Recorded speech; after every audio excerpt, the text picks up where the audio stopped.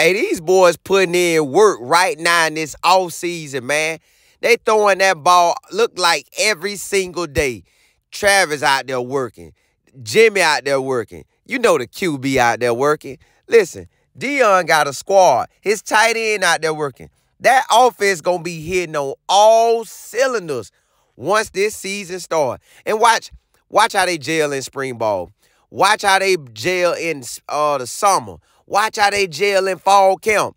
I'm telling y'all, this offense gonna be one of the best offenses in the Pac-12.